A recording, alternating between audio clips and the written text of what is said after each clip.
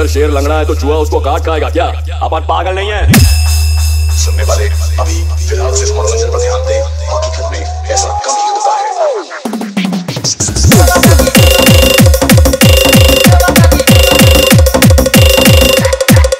सूरज। भाई को बॉलीवुड वाला रोमांटिक हीरो समझा। मैं साउथ फ़िल्म का एक्शन हीरो है। जाके पूछ तेरे बाप को।